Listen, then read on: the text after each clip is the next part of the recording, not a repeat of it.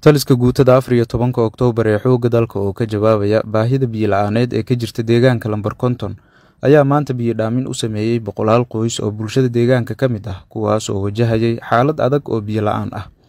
Qaar ka mid ah waxgaradka iyo odayaasha dhaqanka deegaanka ayaa taliyaha guutada afar iyo tobanka oktoobar ee xoogga dalka soomaaliyeed gaashaanla dhexe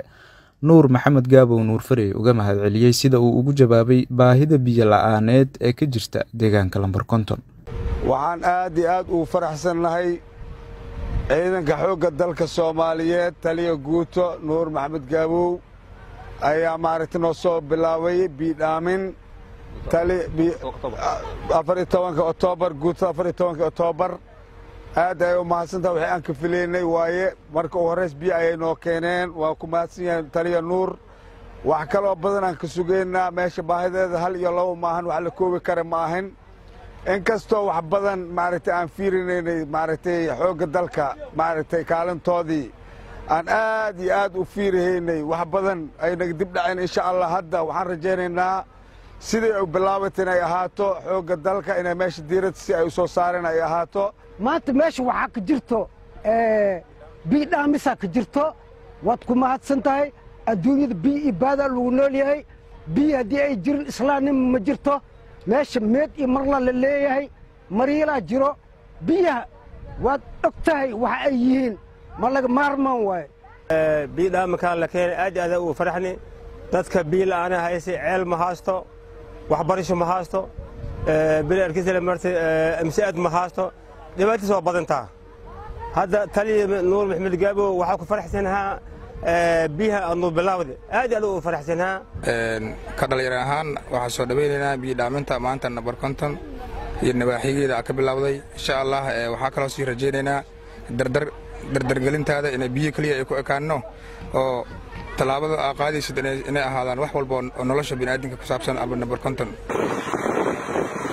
Ciidanka xoogga dalka soomaaliyeed oo dagaal adag kula jira argagixisada uu gobolkooda dhacay ee shabaab ayaa gacanna caawinaad dhan weliba ah ugu fidinaya shacabka ay u dhaarteen. Madaxa xubinta gaadiidka guutada afar iyo tobanka oktoobar ee xoogga dalka soomaaliyeed laba xidigle maxamed cumar idiris sandheere oo wakiil ka ahaa taliyaha guutada afar iyo tobanka oktoobar ayaa sheegay in ay sii wadi doonaan caawinta bulshada deegaanka lamber konton oo ceelashoodii biyaha ay sanooyin ka hor qarxiyeen canaasiirta aan arxanka lahayn ee shabaab. Waxaan biyodhaamin aan ka samaynay deegaanka lamber konton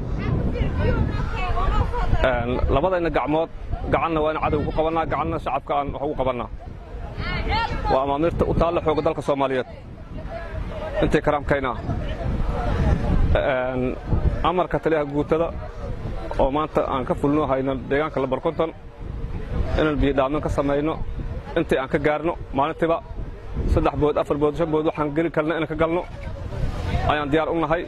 wixii kaloo karaamkayno awoodnana diyaar waan u nahay in shacabkayna la garab istaagno. Maxamed maxmuud oo ah guddoomiyaha deegaanka lamber konton ee gobolka shabeellaha hoose ayaa dhankiisa waxa uu ka mahadceliyey garab istaagga iyo kaalinta ay ciidanka xoogga dalka soomaaliyeed gaar ahaan guutada afar iyo tobanka oktoobar ka qaadanayaan sidii ay bulshada uga bixi lahaayeen xaaladda adag ee biyo la'aanta ah runtii ciidanka xoogga dalka waxay mudan yihiin ammaan waxay mudan yihiin bogaadin waxay mudan yihiin in halka ay ku dhimanayaan ay cadowga kula dagaalayaan in garabkooda la taagnaado.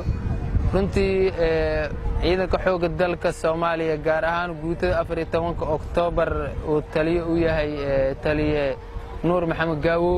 waa aragnay natiijada iyo waxyaabaha badan ee dalka iyo dadka loo wada qabta iyo cadowga sida loola dagaalamay. Cadowga hadduu gandarsi jira iyo hadduu awdhigli ka kori jirana isku mid waaye meeshuu joogaan laga raadina lagula dagaalamaa axmed abuukar sabriye warbaahinta qaranka deegaanka lamber konton gobolka shabeellaha hoose